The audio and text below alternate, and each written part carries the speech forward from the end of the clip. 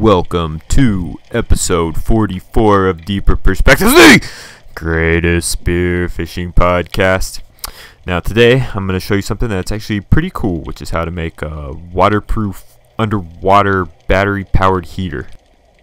So, the things we start with, I bought it all online for about 30 bucks, is a silicone heater, uh, waterproof electrical connection, and 12 volt battery pack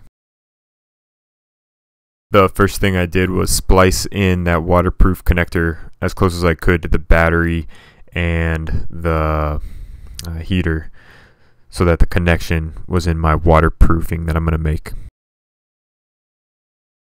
Don't use as much tape as I did. Air spaces are the enemy. This epoxy is to fill up those air spaces and make sure that my wires don't bend close into the connection um, it didn't stick real well in the end to the silicone though. After that I brushed on the Plastidip. I think I ended up putting on four layers.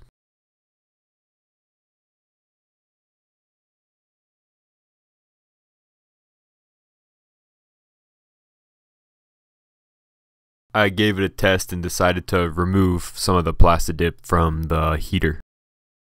Alright, my brother got me this belt thing to hold my key.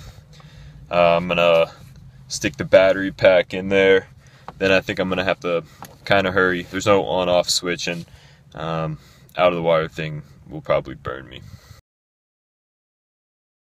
I just went out and swam around a shallow spot just to check it out, and it definitely created a warm spot on my side where it was.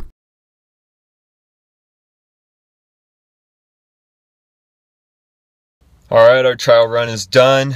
It was very warm in the water for that one little area anyway. Um, I did receive, I don't know if you can see, a slight scalding before the first round. That was a, a big success. No electrocution, a little bit of warmth.